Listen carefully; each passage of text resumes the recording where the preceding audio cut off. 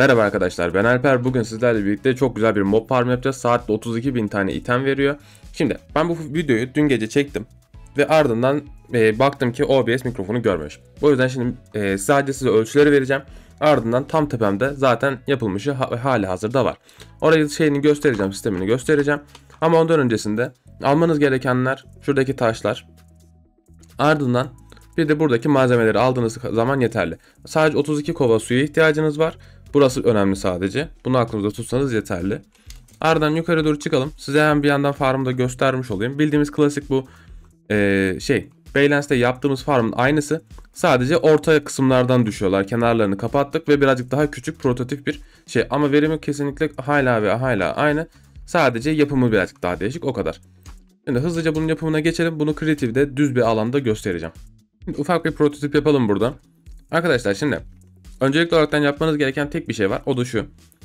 E, Deep Ocean bölgesi buluyorsunuz. Yani derin okyanus bulmanız gerekiyor. Ardından derin okyanustan Y100. bloğa kadar çıkmanız gerekiyor. İlk temeli Y100'e atıyorsunuz. Şimdi geldiniz burası Y100 diyelim. Bunun üstüne çıkıyorsunuz. Burada 7 çarpı 9'luk bir alan oluşturuyorsunuz. 7 çarpı 9'luk alan oluşturduktan sonra uzun kenarlara bir tane meşale yerleştiriyorsunuz. Ardından 3 boş bırakıp bir meşale, 3 boş bırakıp bir meşale yerleştirdikten sonra burada işlemimiz kısmı olarak bitiyor. Ardından kısa kenarları arkanızı alıp e, kenarlardan iki tane boşluk bırakıp buralara ise sandık diziyorsunuz ve sandıkların üstüne bir tane daha sandık diziyorsunuz. Bunların arkasına da huni bağlıyorsunuz. Bu şekilde yaptıktan sonra yukarı geliyorsunuz. Hunileri sayaraktan 5 çarpı 7'lik bir alan oluşturacağız. Burası 1, 2, 3. Burası da 7. Bunların her birini tek bir huniye bağlanacak şekilde uzatıyoruz. Ardından elimize düz taş basamakları alıp bu kenardakilerden sadece şöyle 5 tane kenara doğru geliyoruz. Ardından buraya da aynı şekilde yapıyoruz ve köşeleri doldurmuyoruz. Buna dikkat edin.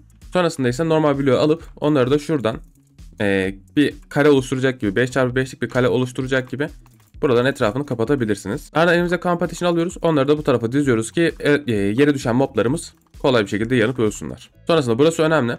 Duvarları e, 4 blok yüksekliğinde yapacağız. Ruh kumundan yapacağız. Neden? Çünkü ruh kumu örümceklerin tırmanmasını kısmi olaraktan engelliyor. Yani tırmanabiliyorlar ama e, bir beceriksizlik söz konusu oluyor. Tamamen tırmanamıyorlar. O yüzden ruh kumu kullanacağız ki buraya düşenler geri yukarıya tırmanamasın. Ardından ruh kumların üstüne birer tane çember oluşturacak şekilde böyle yani köşeleri de dolduruyorsunuz. Bir hat çekeceğiz ve ardından sadece iç kısımlarına birer toprak koyup üstüne çit kapısı yerleştireceğiz. Çit kapılarını böyle dizdikten sonra aşağıdan topraklarını kırıyoruz. Sonrasında arkadaşlar buraya geliyoruz. Buradan 7 blok dışarı çıkıyoruz. Tam orta kısımlardan her taraftan yapacağız bunu. 3, 4, 5, 6, 7. Buraya geldikten sonra 5 blok yan tarafa doğru gidiyoruz. 1, 2, 3, 4, 5. Ardından bir tane aşağı inip oradan da 3 tane sayıyoruz. Yani şu şekilde oldu. Burası 5, şurası 3 bir şekilde. Diğer taraflardan bunu yapacağız ve köşelerini birleştireceğiz. Sonrasında arkadaşlar. Şimdi buranın her tarafını da kapattığımıza göre buraya geliyorsunuz. Sadece kenarları olaraktan birer tane blok yerleştiriyorsunuz. Ardından bu kısmı böyle yaptıktan sonra buraya geliyoruz bir tane toprak atıyoruz. Ardından bu toprağın hizasından birer tane şöyle dönerekten bunun etrafını komple döneceğiz. Sonrasında arkadaşlar burası oldukça basit zaten. Buraya geliyoruz. Her bir tarafına su koyuyoruz. Arkadaşlar şimdi suyu da doldurduktan sonra buraya geliyoruz. Bu köşelerden 6 tane blok sayıyoruz. Ardından buraya geliyoruz. 2 blok yükseliyoruz. Ve bu tarafa gelip buraya bir tane fırlatıcı yerleştiriyoruz yukarıya doğru bakan. Ardından 7 blok dışarı doğru çıkıyoruz. 7 blok dışarı çıktığımız zaman buradaki zaten çit kapısının oraya denk geliyoruz. Sonrasında burada yapmamız gereken şey şöyle güzel bir alan oluşturmak. Hatta orada şöyle göstereyim yukarı tepeden. Bittiği zaman bu hale alması gerekiyor. Sonrasında buraya geliyoruz. Buranın kenar köşesine da kenar ucuna bir tane çit yerleştirip ardından bu çitleri de şu şekilde bu tarafa etrafından doğru dönüyoruz ki bizim sularımız bu taraftan akıp ya da canavarlar bu taraftan aşağı düşüp de ziyanı uğramasınlar. Şunu da şu şekilde kapattıktan sonra buranın işi komple bitmiş oluyor. Burası bu şekilde. Ardından buraya gelip bu fırlatıcının üstünden 3 blok yukarıya doğru zıplıyorsunuz. Alttaki iki tanesini kırıp buraya ise bir tane gözlemci yerleştiriyorsunuz. Yine buradaki gözlemci yukarıdaki dispenser'dan şeyi görecek. E, suyun açıldığını görecek. Ardından buraya iletecek. Buradaki de bunu açacak ve buraya sular akmaya başlayacak. Bunu her bir yere yapacağız. Ardından bunu kaç tane yapacağız tabii ki. 8 ve 12 blok arasında yapabilirsiniz. Bir şekilde fark etmez. Buranın her bir tarafını zaten doldurmuş halini gördünüz. Şimdi hızlıca üst kısmının nasıl yapıldığını göstereyim. Ardından videoyu bitirelim. Şimdi arkadaşlar son katı ise yaptığınızdan sonra tabii ki aşağı katlarımız boş. Buraya geliyorsunuz bu dispenserların, dispenser değil, gözlemcilerin üstüne birer tane daha dispenser yerleştiriyorsunuz. Ardından elinize düz taşları alıp bunların etrafını dolaşıyorsunuz ve içerisinde dolduruyorsunuz. Şimdi en önemli kısımlardan bir tanesine daha geldik. İstediğiniz bir tane kenardan dispenser'ı buraya geliyorsunuz. Ardından 7 blok dışarıya doğru çıkıyorsunuz. 7 çarpı 3'lük bir alan oluşturacaksınız daha doğrusu. 7 çarpı 3'lük alan oluşturduktan sonra buraya bir tane şalter atıyorsunuz. Buraya bir tane karşılaştırıcı ve bu karşılaştırıcının ışığını açıyorsunuz. Ardından buraları redstone yenileyicileri döşeyerekten ilerliyorsunuz. Ta ki nereye kadar? Şunların sınırına kadar. Yani burası bir tane kenarda olacak şekilde buraya kadar geliyorsunuz. Ardından bir tane boşluk bırakıp buradan tekrardan sonuna kadar gidiyorsunuz. Ama sonuna kadar giderken dikkat etmeniz gereken bir şey var. En sonuncusunu şu tarafa şöyle yerleştirip şöyle koymanız gerekiyor. Bunların her birini full tick açacağız. Şimdi buraya kadar her şey tamam. En son geliyorsunuz burayı bağlıyorsunuz. Hatta görünümü de şu şekilde olacak. Bunu da şöyle net bir şekilde göstermiş olalım. Nasıl daha net gözükür. Böyle yaparsam bence yeterince uzak gözüküyor gibi duruyor. Bunu bu şekilde yaptıktan sonra ise şuraya bir tane redstone tozu atıyorsunuz. Ardından buradan sayıyorsunuz. 1, 2, 3, 4. Bir tane boşluk bırakıp buraya bir tane yenileyici atıyorsunuz.